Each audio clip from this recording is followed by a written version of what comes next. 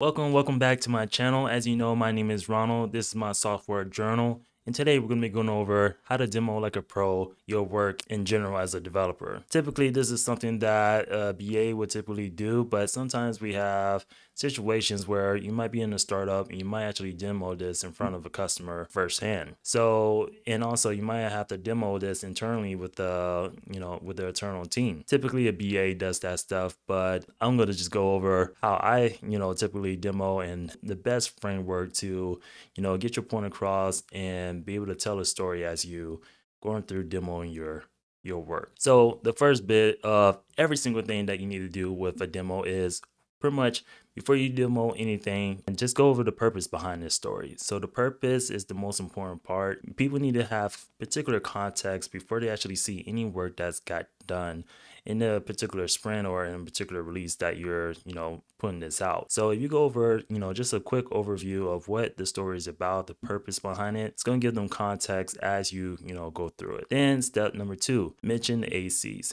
Sometimes you got ACs really drawn out. So try to paraphrase these ACs so you can get straight to the point and get straight to the demo. You don't want to spend too much time on here, but you do want to mention it because you're also going to mention them again when you demo your story. Then number three, you actually start demoing your work. This is where you're going to be, you know, going over the functionality step by step as you logged in as a particular user or a particular persona and you know you go over the particular functionality that you implemented you'll mention the acs as you go through you know demoing your work say hey this is you know meeting ac one, one two three as you demoing your work to the internal team or the customer. All right, that's pretty much it for that piece. Then we're gonna get into the last step, which is handling questions. And there's two ways you can go about this. So when questions get sent to you and you know, then that's great. Then you can, you know, go straight to the point of, you know, answering that question. For the sake of brevity and everything, you want to make sure you want to get straight to the point, be direct with your answers because you don't want to like drawn it out too much.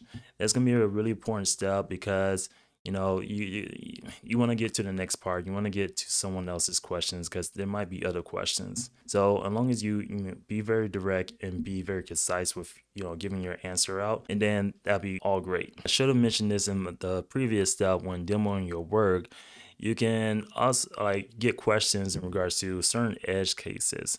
So edge cases in which have you thought about this particular edge case when you're implementing this work and then this is a great chance to kind of like circle back. If you did get a chance to actually handle that edge case, you can circle back and say, yeah, I actually did that edge case is um has been input into the story and is going to be pushed in this particular release. So it's going to be a great chance to, you know, look back and say, yes, oh, yeah, I completely forgot. You're exactly right this is how I implement that in order to handle that particular edge case. Then you got number two of, you know, handling questions. So this is when you don't know. And essentially, one of the most famous and most useful phrases in the tech and the software community is, I don't know. Actually, let me take that as an action item and find an answer to your question. This accomplishes two things. One thing it accomplishes is it gives you more time to find an answer because I mean, you, you don't want to really be looking for an answer as you're you know answering question. You want to keep the demo going and go to the next question and just you know have a nice flow with it. If you're trying to find an answer to that question as you demoing, it's like, hey, let me go in the back end really quick.